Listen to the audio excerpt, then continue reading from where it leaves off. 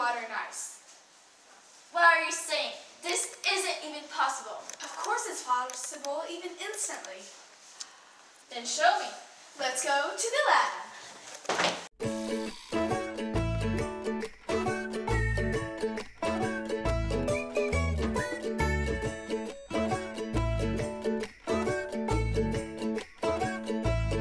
The water transforms instantly into ice because molecules at liquid stage are moving, but at solid stage, frozen, the molecules are glued together so don't move.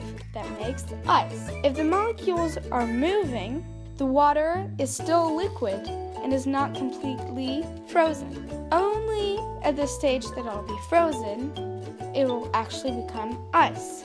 Or a shock will froze it on itself instantly. My turn to do an experiment. It will be scientific and sugary.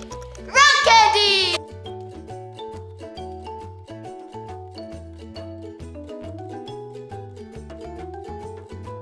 Then we're going to pin two clothespins around the skewer and place it on top of the glass to make sure it fits.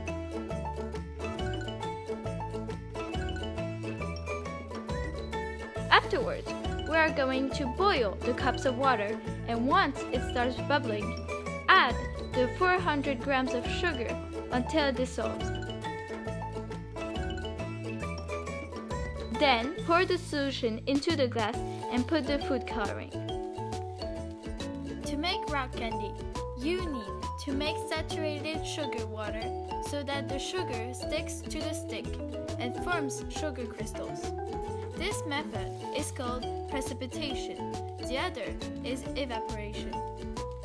As time goes by, the water evaporates slowly from the solution.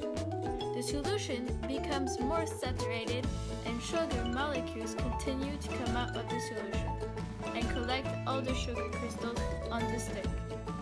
The rock candy crystals grow molecule by molecule. The finished rock candy is about a quadrillion molecules attached to the stick.